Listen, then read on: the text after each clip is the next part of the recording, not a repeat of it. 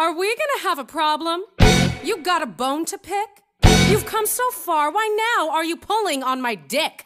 I'd normally slap your face off, and everyone here could watch. But I'm feeling nice, here's some advice. Listen up, biatch.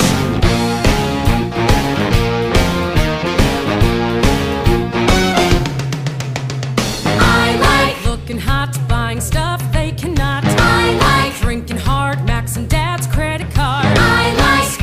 gym, scaring her, screwing him. I like killer clothes, kicking nerds in the nose. If you like the balls, you can go play